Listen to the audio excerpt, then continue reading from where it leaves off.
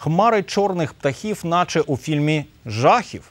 Незвичайне явище зафіксували просто у центрі Дніпра. Орнітологи кажуть, насправді нічого неймовірного тут немає. Така поведінка є звичною і властива співочим птахам, зокрема шпакам, гракам та представникам сімейства горобиних.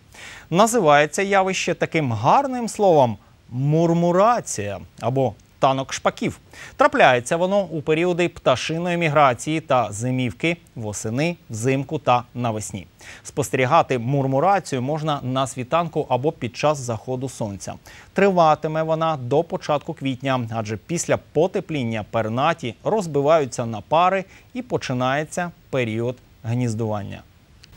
В Австралии, например, таким же занимаются волнистые попугайчики, всем известные. Во-первых, они обмениваются информацией э, друг с другом, никого ли не съели, э, об информации о хищниках, источниках пищи и так далее. Э, плюс э, в такой стае они защищаются от нападения хищников, потому что от такой плотной группы отделить э, единичную особь довольно трудно.